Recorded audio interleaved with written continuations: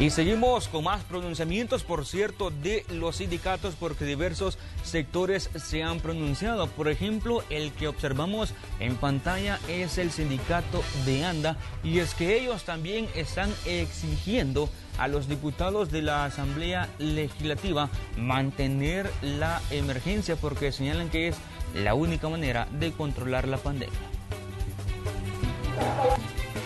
La cuarentena domiciliar es importante mantenerla. Tenemos ejemplos de otros países. Aquí nomás en Latinoamérica, en México, vemos cómo están cremando la cantidad de muertos. O sea, no queremos que El Salvador se convierta en un México, en un Ecuador, como otros países también está pasando. Entonces vaya nuestro llamado a los diputados de la Asamblea Legislativa a que también tomen cartas en el asunto y que este día a las 3 de la tarde que van a reunir aprueben la extensión de la cuarentena domiciliar por la vida del pueblo, por la vida de la clase trabajadora.